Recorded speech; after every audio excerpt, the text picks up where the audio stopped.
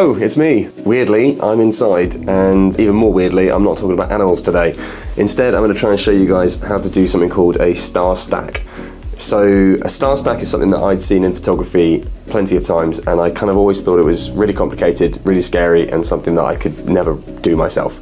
But it turns out that's not true. It turns out it's incredibly simple. Now, I'd watched tutorials before and even when they did it, I kind of thought, blimey, nah, too much, too complicated, don't want to do it. So what I'm going to try and do is show you how to do it in the simplest way, in the way that I do it, and fingers crossed you can get some really nice images. So what is a star trail? A star trail is basically, it's a compounded image of lots and lots of images. Um, the higher the number of images you get, the longer the star trails, the higher resolution the star trails is. So uh, there's a couple of things to bear in mind, but the first thing is obviously you need a camera. Um, the second thing is you need uh, a tripod, and the third thing is you need the software. So if you want to edit your images um, before you stack them, then obviously you'll need to pay for software. But fortunately, there is a really good program um, called StarStax, which is free, um, and that's what I've been using, and it works a treat. A star trail is effectively uh, the movement of the stars, and in the northern hemisphere, all the stars rotate around Polaris, the North Star. If you're in the southern hemisphere, they do the same, but to the south.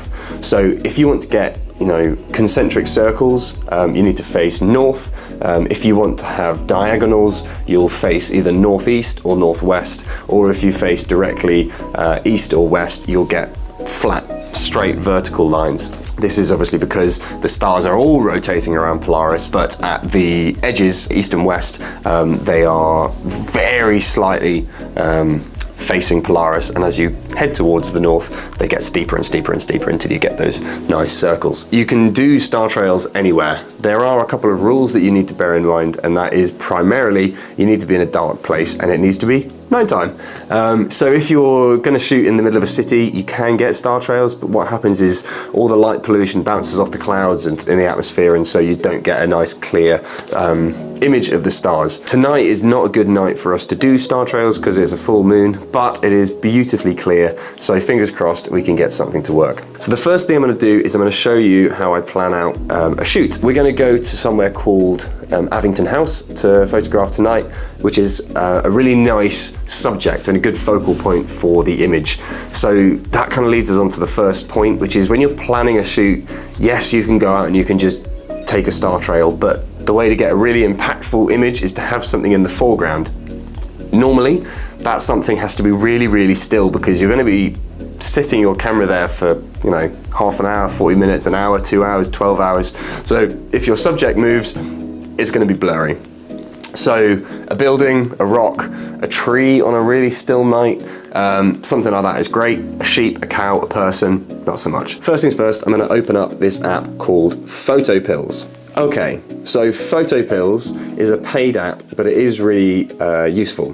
The first thing we're going to look at is Planner on the top left. So you can see that I've already placed my little pin here. I've placed it where I'm going to shoot. So you can zoom right in, you can look at the perspective of where you're going to shoot. So we're going to photograph Avington House, which is this building here. We're going to photograph it across the lake um, and so the best place is going to be sat directly in front of this tree. Now when you're looking at the screen you can see that there are three blue lines. The first blue line is where the moon is going to rise. Um, so if we scroll back using the timeline you can see that the moon rose at approximately 10 to 4 this evening and it's going to travel ooh,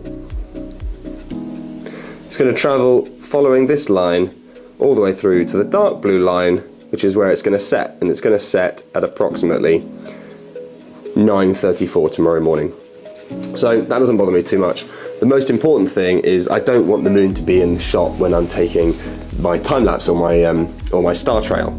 So if I go back to where I was, at this point we can see that the moon is almost directly overhead of the building. So if I scroll along through my task through my timeline, I can see that by about 8 o'clock, the moon is well clear of the building. So I'm going to head down there at about 8 o'clock and start setting the camera up. Star Trails is really useful because it also tells you loads of other information. The first thing you can see when we're looking at this screen is that it's got the, uh, the moon phase.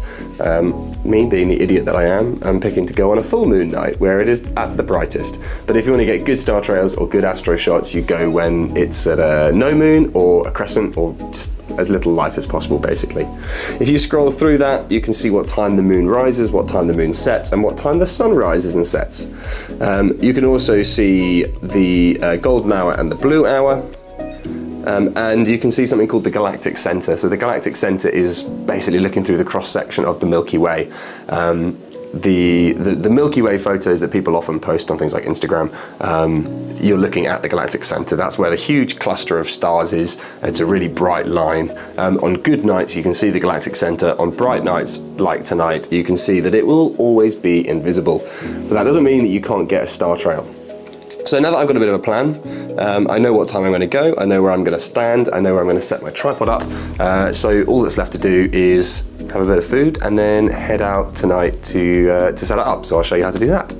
Alright, it is night time and I am out and about. It's pretty cold though, it's about minus one or minus two and there's a frost starting to form so all of my gear is going to start getting really cold really quick. I've got down to the lake and behind me you might be able to make out the lights of the house and above it uh, the moon is pretty bright and because of that it's kind of obscuring all of the stars in that area. I made the decision therefore to switch my subject to a very large tree that's directly behind me. And from this angle, that tree faces due north. So what I should get by leaving the camera out here for an hour or so is nice concentric circles around Polaris, which is ideal. So I'll show you how to set up the, your camera. Obviously I'm using a Sony, um, but uh, it's pretty similar with all camera systems nowadays, especially if you've got an inbuilt intervalometer, but I'll show you what I'm doing. In order to do astrophotography, you want to try and get as much of the scene in as possible to really enhance that idea of drama behind the stars. And so the best thing is to use a nice wide lens.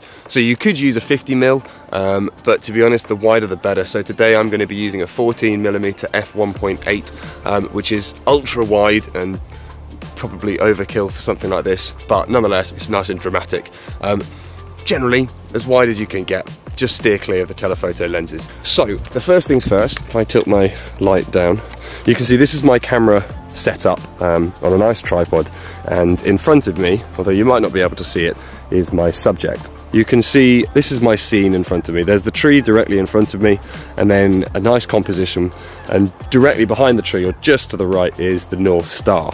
Um, and I use that by just using a compass, you can work it out. So the first thing you're gonna do is set your aperture. So you want a nice wide aperture. The wider, the better. But what you'll find is at 1.8 or at the widest extremity, you start to get a bit of distortion in the image. So I tend to crank it back to about two. Uh, in fact, on this one, I'm sat at 2.8. That just gives me a little bit more of a depth of field as well. So once you've set your aperture and you're happy with that, the next thing you're going to do is manually focus. So for me, I'm going to manually focus onto the tree itself because normally when you're taking astro shots, you're making sure that uh, the stars are in focus. But in this example, um, the subject is the most important thing and you're going to have blurry stars anyway so it doesn't really matter if they're pin sharp or not. The next thing we're going to look at is the uh, is the shutter speed. So if you want to have good crisp stars that you can stack on top of each other. You don't want to have a really long shutter speed. Um, the rule of 500 is 500 divided by your focal length. So for me, it's 14 millimeter. Um, 500 divided by 14 will give you the maximum amount you can hold your shutter open before you start to get distortion. However, what I'm going to do is just hold it at 15 seconds today. The ISO I set manually because what you don't want to do is you don't want the camera to be working out where your ISO should be. You want to make sure that you're setting that and you're happy with it. You can do a couple of test shots first of all, so I'm just going to do a two second timer and do a little test shot. Okay, test shot complete, let's see what we've got. So we can see that the Subject is nicely exposed and we have got some nice crisp stars in the background as well, which is awesome.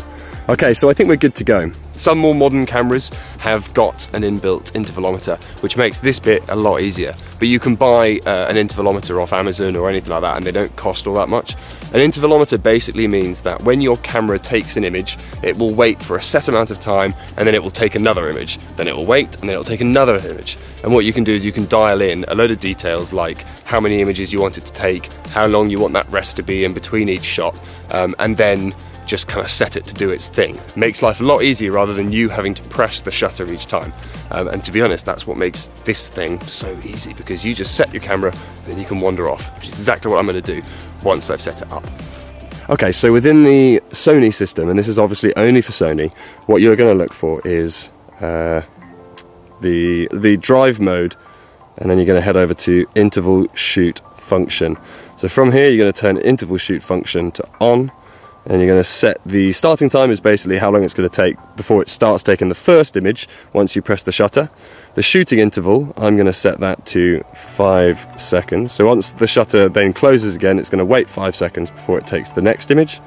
I'm going to ask it to take a thousand shots because to be honest, I'm not going to use a thousand shots, but I want it to be going for as long as possible. And it will give you a rough estimate of how long it's going to take given your current settings.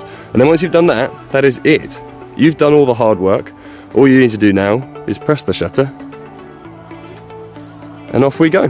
This is normally the part in the film where there would be some kind of fancy montage with maybe a drone and some swelling music, but to be honest, I'm just going to show you how to do this today because it's really cold and I haven't got time.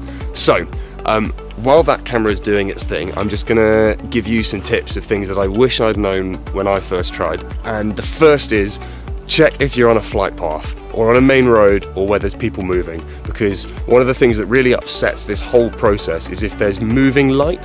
So yes we're trying to track the movement of stars but that is a predictable and they're all going the same direction.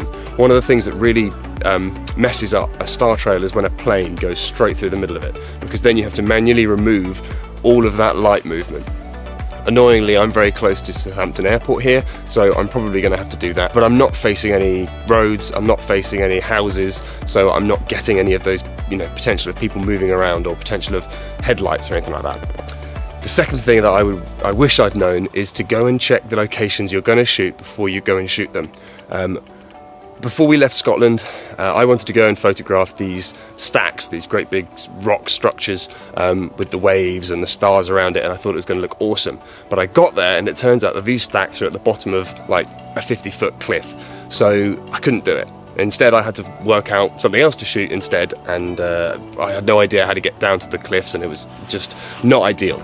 I wish I had known and gone there in the daytime and checked the location and maybe worked out a route to get down to them beforehand. Go and see it, plan your route, look at where you're going to put your tripod, then you can go back at night and it makes everything so much easier. Yeah, I think that's all my good tips. So I'm going to go and warm my fingers up and uh, I don't know, maybe watch Family Guy or something in the car while this is doing its thing.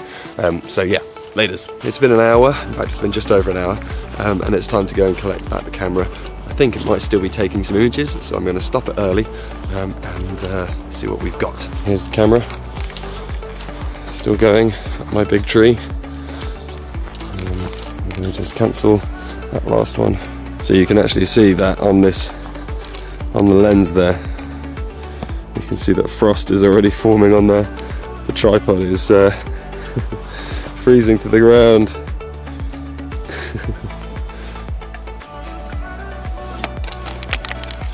Incidentally, I'm using the Peak Design tripod. Um, I actually really like the Peak Design tripod. It's the travel one, it's really light, it's really versatile. It's not the best for filming wildlife, but for something like this on a nice still day, it works really well. Um, the problem is that it's made of metal, and so my hands are going to freeze when I carry it back to the car. Okay, so I'm back, uh, and I've taken my SD card out. I'm going to fire up Capture One take off all of the photos and speed up this process because it's going to take forever.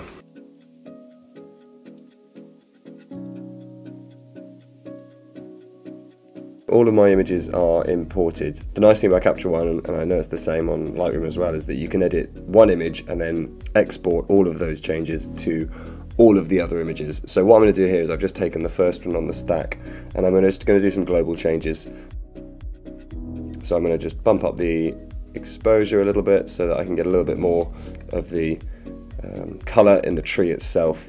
Now you can see that over here to the right hand side I've got quite a lot of bright light that's coming through from the moon that is over here basically. So what I'm going to try and do is mask out the sky um, and uh, just bring down the exposure in those areas. Okay. So this is kind of more or less what I'm after. Um, obviously there's a lot of branches within that tree that make it a bit difficult. So if I turn that mask off and I bring in the contrast a little bit,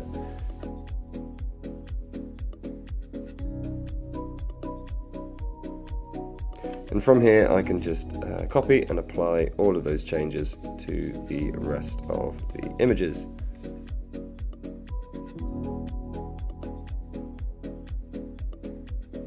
Hello, Future Will here. I realised that I missed out on one quite crucial bit of information that I've now had to go back and redo, and that is to make sure that when you copy and apply all of the settings, you also include the white balance and the colour balance because as the camera goes through its cycle, that white balance might change by a couple of values. So the white balance will be given a value, a figure. Mine was something like 5152.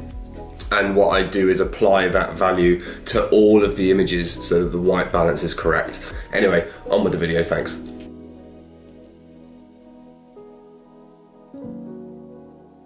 from here, I can just choose to export um, in a nice high uh, quality. I can export them into the file, the folder that I've already decided, and then just uh, set them to export.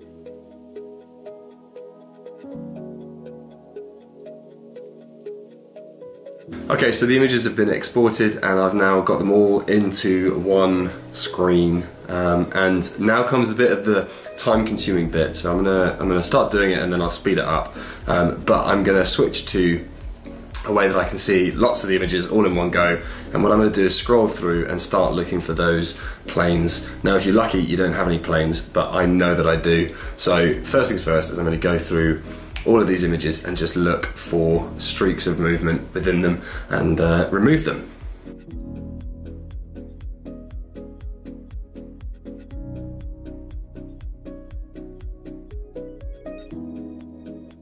I've culled through all of those images um, and I've taken down almost 80 images that had planes flying through the shot. So not entirely sure how this stack will work, but the next thing we're going to do is fire up StarStax, um, which is a free program, and I will put a link to it in the description. So I've brought all the images into StarStax. Um, I'm going to use Comet mode, and I'm going to ask for long trails. This just extends um, the, the trails left behind by those, uh, by those stars. So all that's left to do here now is hit go and let it do its thing.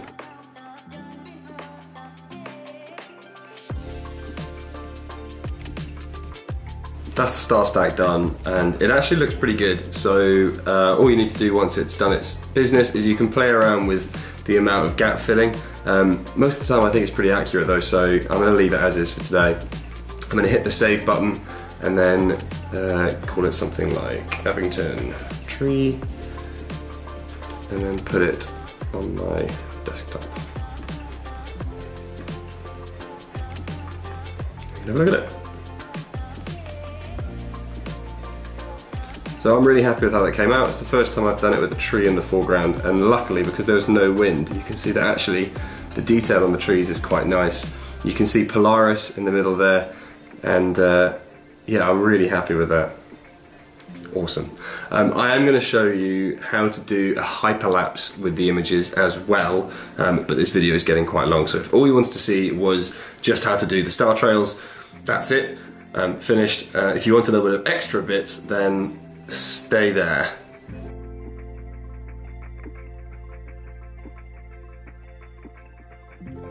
Hello again. Um, if you are watching this bit of the video, then you're trying to work out how to do a hyperlapse. Now, I'm not going to go into uh, in-depth tutorials on how to use Final Cut Pro or Premiere Pro or whatever the Adobe version is. Um, if that's something that would be useful, then just let me know and I can try and do some more tutorials in the future. Um, in the meantime though, I'm just going to show you how to turn your photos into a hyperlapse. It's really easy. Um, So I'm using Final Cut Pro.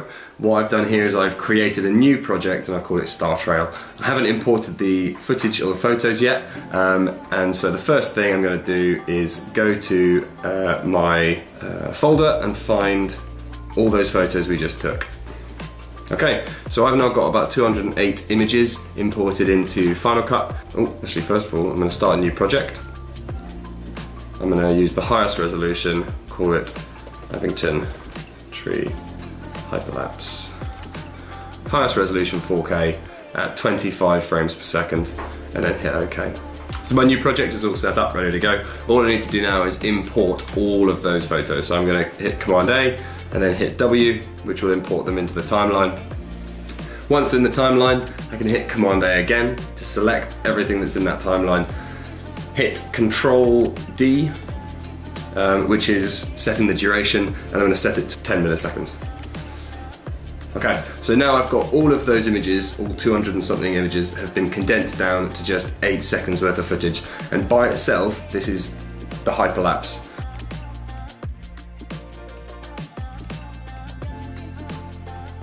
Now you can see when you're watching this footage that it's quite juddery and that's because Final Cut hasn't rendered the uh, footage so the, it's a nice easy fix. So from here I'm going to render the images um, to make sure that Final Cut has got the highest quality beforehand and then once I've done that I can play around with a little bit of um, camera movement within the hyperlapse. The footage is now rendered out, which means that uh, when I hit play in a second, it should run nice and smoothly. Um, let's have a look.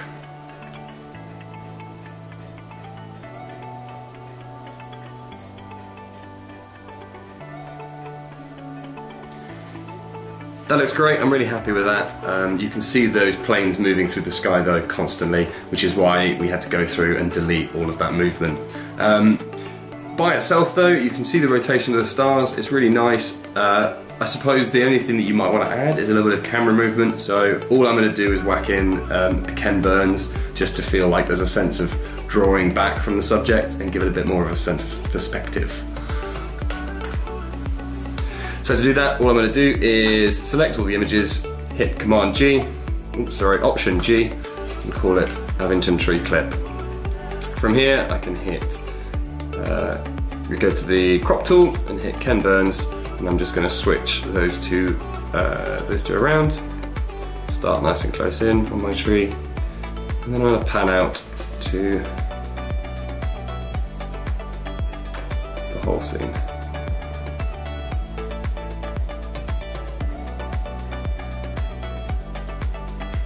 and that is your hyperlapse clip